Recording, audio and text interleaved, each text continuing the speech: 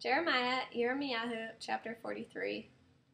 When Yirmiyahu had finished telling all the people everything Adonai their God had said, which Adonai their God had sent him to tell them, the entire speech cited above, then Azaryah the son of Hoshea, Yochanan the son of Kareach, and all the men with him had the effrontery to say to Yirmiyahu, You are lying. Adonai our God did not send you to say, Don't go to Egypt and live there.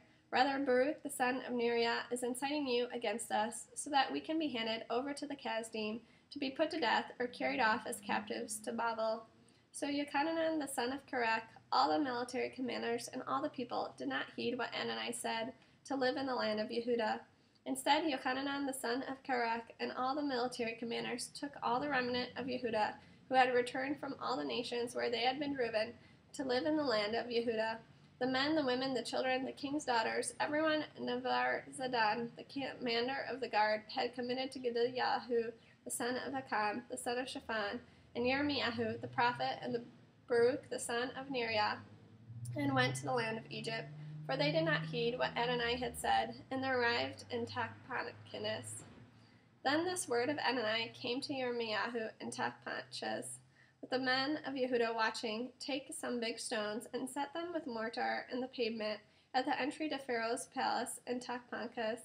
Tell them, this is what Adonai Sabaoth, the God of Israel, says I will summon Nebuchadnezzar, the king of Babel, my servant. Take him and set his throne on these stones I laid here.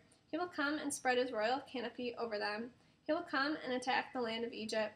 Those destined for death to death, those destined for captivity to captivity those destined for the sword to the sword. I will light a fire in the temples of the gods of Egypt, and he will burn those gods or take them captive. He will fold up the land of Egypt like a shepherd folding up his cloak, and leave there victorious. He will also break the standing stones of the temple of the sun in the land of Egypt, and burn to the ground the temples of the gods of Egypt.